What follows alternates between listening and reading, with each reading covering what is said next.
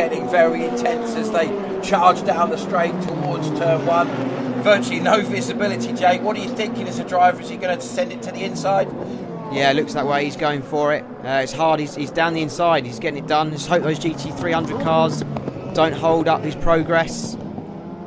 This is really interesting. We've got a great move. He's managed to block him against that GT300 car there, uh, which is quite good. So Quintarelli couldn't couldn't do that outside manoeuvre that we've seen um, for some of the manoeuvres earlier on in the race.